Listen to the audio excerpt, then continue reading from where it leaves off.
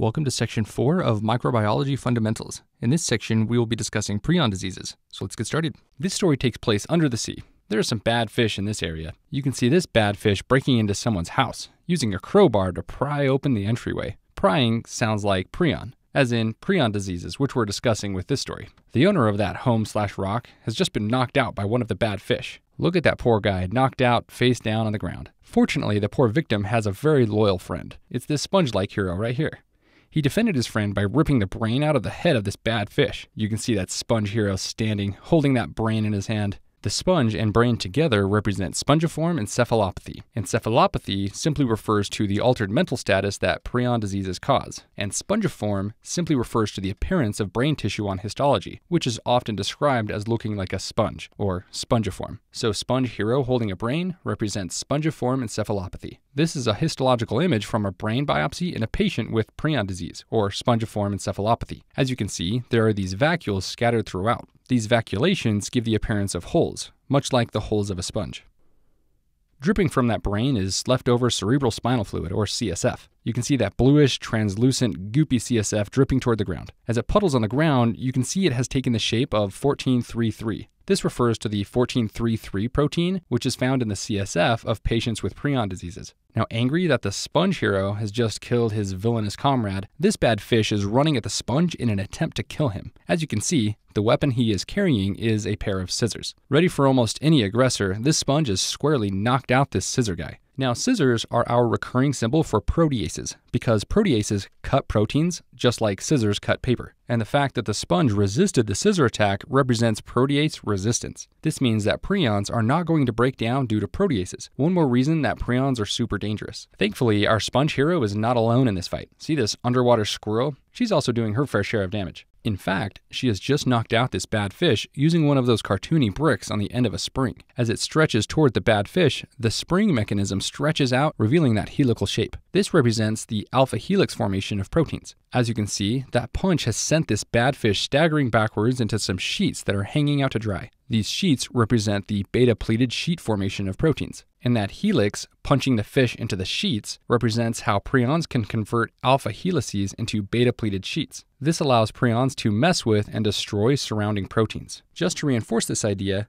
PRPC indicates normal prions, which are found in normal healthy brains, and these are in the alpha helical configuration. These become problematic when they get converted to the beta pleated sheet formation. These are termed PRPSC.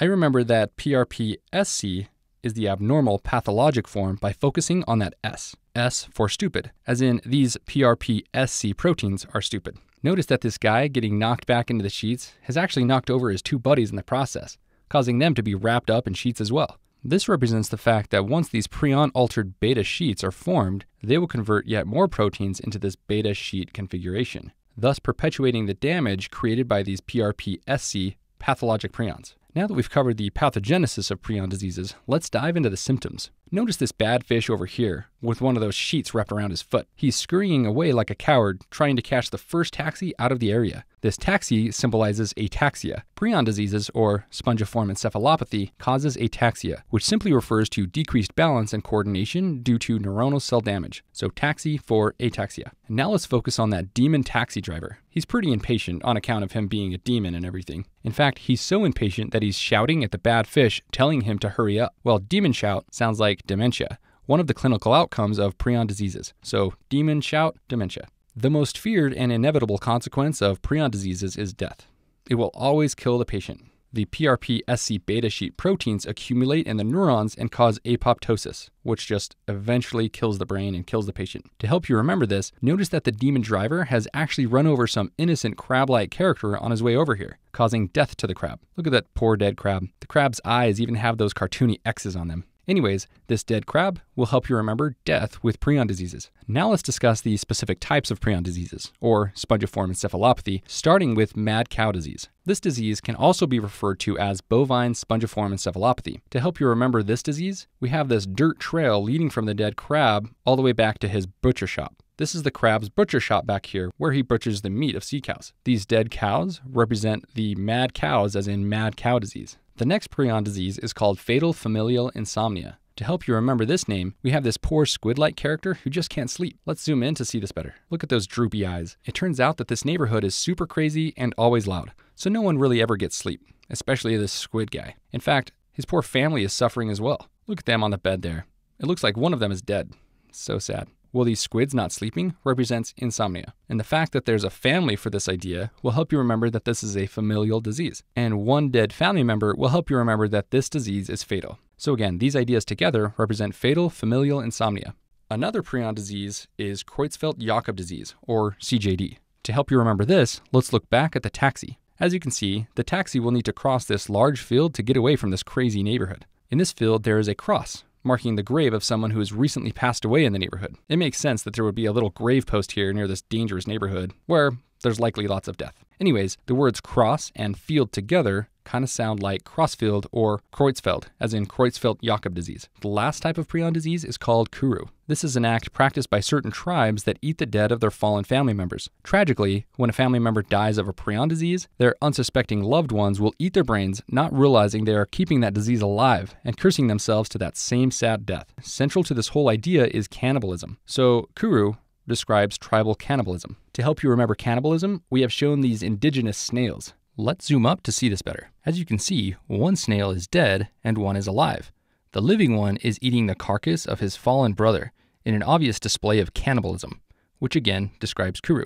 Another important fact to know is that prions are resistant to autoclaving, a standard sterilization procedure. Autoclaves are machines that exert high pressures and high temperatures to clean off surgical equipment. This is standard procedure for every hospital that performs surgery and is very effective, but it's not very effective against prions. For example, if a brain surgeon performs surgery on a patient with a prion disease and this isn't known to anyone, those surgical tools will undergo autoclaving to be ready for the next surgical patient. However, the prions will remain on that equipment, intact and ready to infect the next brain used by that tool. To help you remember autoclaving, we have shown an autoclave here in front of the butcher shop. Let's zoom in to see this better. Though the workers here are nothing more than bloody butchers, they like to autoclave their cutlery and other tools to keep the cleanest beef products. They take really good care of their autoclave and don't want hooligans messing around with it. For this reason, they keep a threatening sign near the autoclave that reads, Stay away. This sign will repel or resist people coming to the autoclave. So again, the sign and chains around the autoclave will help you remember that prions are autoclave resistant. Now that we've covered the image, let's review with a question.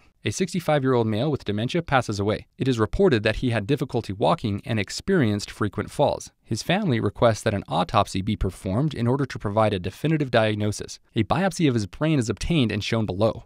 Which of the following describes the proteins responsible for neuronal cell death in this patient's brain? A. PRPC alpha helical, B. PRPC beta sheet, C. PRPSC alpha helical, D. PRPSC beta sheet. Hopefully, from the question stem, you notice that this patient had dementia and ataxia because he had difficulty walking and experienced frequent falls. Both of these are symptoms of spongiform encephalopathy, another name for prion diseases. And just as a side note, Ataxia and dementia can be caused by many forms of dementia, so these findings are not specific to spongiform encephalopathy. In fact, the reason we even think it's spongiform encephalopathy is because we're given a biopsy which shows those vacuolations, which are left behind from apoptosis neurons. This gives it that spongy appearance, giving the disease its name, spongiform. And with prion diseases in mind, the correct answer is choice D, PRPSC proteins in the beta sheet formation. Remember from the image that the alpha helical prions get converted to the beta pleated sheet formation, which are pathological. And again, these are termed PRPSC, the S for stupid. Now, choice A is wrong because PRPC describes the normal prion. Also, these are in the alpha helical configuration. So, for both of these reasons, answer choice A is incorrect. Choice B is wrong because, again, PRPC is the normal prion, although the beta sheet formation is what we'd expect. Lastly, choice C is wrong because the alpha helical formation is not what we'd expect. So again, the correct answer is PRPSC in the beta sheet configuration. And that should be all you need to know about prion diseases.